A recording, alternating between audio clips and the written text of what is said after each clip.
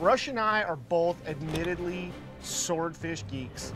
The swordfish is one of the most sought after game fish. How many feet off the bottom do you like to fish? A lot of stuff that can go wrong. What the f was that? Ready to unbolt everything and just throw it over the side right there.